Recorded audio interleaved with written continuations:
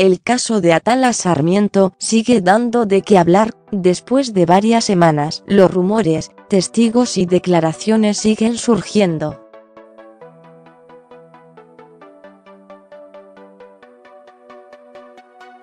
Después de la salida de Atala de Ventaneando las especulaciones incrementaron, se dijo que Patti Chapoy la corrió porque se enteró de la visita a Televisa, pero la conductora, aclaró que habían sido desacuerdos en su contrato la causa de su salida del programa pero no de Televisión Azteca.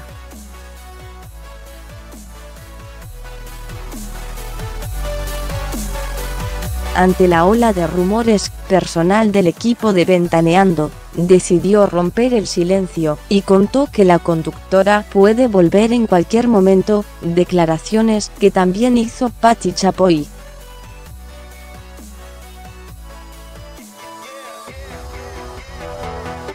Presuntamente Patty jamás corrió a la conductora, pues aclaró que Atala puede regresar el día que quiera en tanto solucione la firma de su contrato, pues desde hace un año no la ha realizado.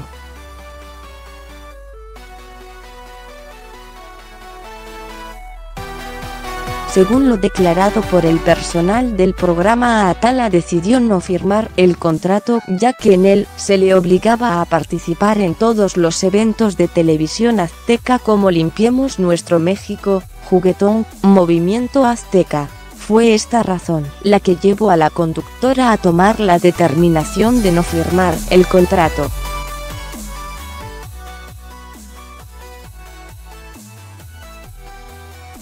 Presuntamente, para evadir estas responsabilidades con la empresa, Atala pidió el apoyo de diversos ejecutivos de la televisora de Ajusco como Ana Cecilia Urquidi.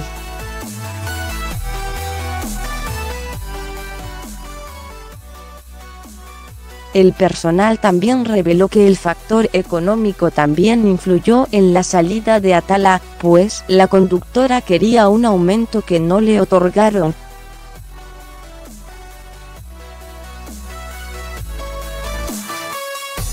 La señora Patti Chapoini ha hablado con ella, expresó el personal de la conductora titular de Ventaneando.